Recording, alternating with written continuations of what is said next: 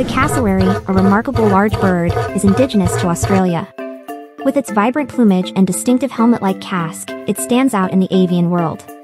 Despite being flightless, it possesses powerful legs with dagger-like claws, making it one of the most formidable and fascinating creatures of the Australian rainforests.